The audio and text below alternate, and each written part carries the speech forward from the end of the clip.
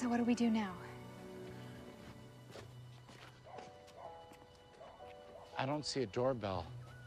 And the house looks empty. Gary, throw me over. What? Gary, just throw me over already. Okay. Okay, here we go. One, Okay. two, um, three. Mm, that's good. Oh, good. No, it's Guys, I think that's an electric fence. Mary, it's Kermit the Frog.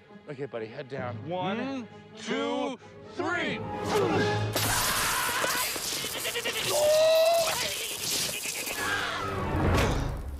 It's an electric fence. Yep.